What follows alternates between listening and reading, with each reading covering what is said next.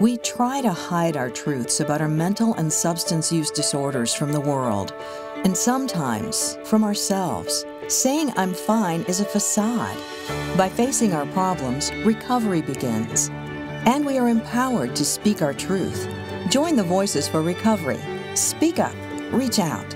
For information on mental and substance use disorders, including prevention and treatment referral, call 1 800 662 HELP. Brought to you by the U.S. Department of Health and Human Services.